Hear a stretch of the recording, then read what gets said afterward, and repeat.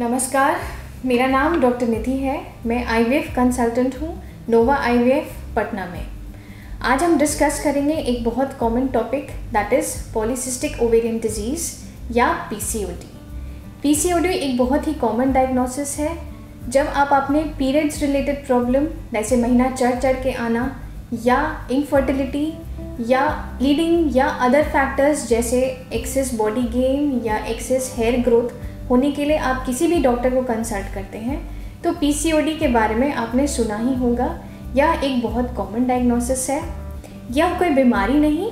जब आप अल्ट्रासोनोग्राफी करवाते हैं तो अल्ट्रासोनोग्राफी में जो आपके एक्सपेक्टेड फॉलिकल्स होते हैं, जो फ्यूचर में जा कर के एक एग में कन्वर्ट हो सकते हैं, वो जब आपकी मात, बहुत हैवी मात्रा में आपके ओवरीज में रहती है that is huge number of follicles तब वह एक माला की तरह दिखती है अल्ट्रासाउंड में, इसीलिए इसको बोलते हैं पॉलीसिस्टिक ओवेरियन डिज़ीज़ ये इससे होने वाली बहुत सारे प्रॉब्लम्स होती हैं। हम फोकस करेंगे इससे होने वाली एक important problem that is infertility PCOD में इनफर्टिलिटी क्यों होती है? पीसीओडी में आपके ओवरीज में ह्यूज नंबर ऑफ़ फॉलिकल्स होते हैं that is huge number of eggs होते हैं।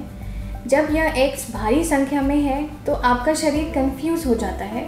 हार्मोनल इम्बैलेंस आपके शरीर में हो जाती है, जिसकी वजह से बॉडी आइडेंटिफाई नहीं कर पाता कि किसको, किस एग को हम बढ़ाएँ, किस एग को हम ना बढ़ाएँ। इस वजह से आप में या तो लेट डेवलपमेंट ऑफ़ फॉलिकल होता है मतलब अंडे आपके देर से बनते हैं, आपके देर से रप्चर करते हैं, या कभी कभी तो अंडे बनते ही नहीं, जिसे हम बोलते हैं anovulatory polycystic ovarian disease late अंडों बनने की वजह से आपका पीरियड्स भी लेट से आता है और आपको सही समय, सही फर्टिलिटी पीरियड का अंदाज़ा नहीं रहता, जिस समय आपके साथ रहने से मैक्सिमम चांस हो प्रेगनेंसी ठहरने की।